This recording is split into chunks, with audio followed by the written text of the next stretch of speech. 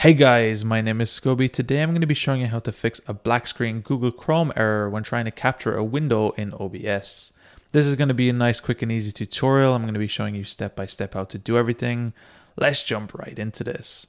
So this happens whenever you try to add a Google Chrome capture in OBS. As you can see, for some reason it just shows this blank screen, whereas when I try to capture other windows, it works perfectly fine.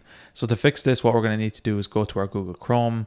Once your Google Chrome is open, what we're going to be doing is opening up our settings. And once your settings is opened up, we're going to be scrolling down to the very bottom and we're going to be opening up the advanced options for Google Chrome. We're going to be scrolling down even further here. We're going to be looking for the system tab. And then what we're going to be doing is unchecking the use hardware acceleration when available.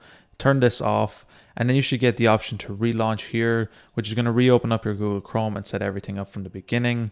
So what we're going to need to do is relaunch Google Chrome and once we capture Google Chrome from this point, you can see everything works. Google Chrome now shows up as normal and no more black screen.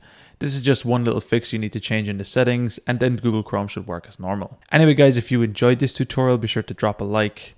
Subscribe if you're new, check out the other videos on the channel. I'm going to be leaving a link down below to my PayPal if you found these videos helpful and you want to support me. Anyway guys, thank you so much for watching. Until next time as always, keep it saucy. Peace.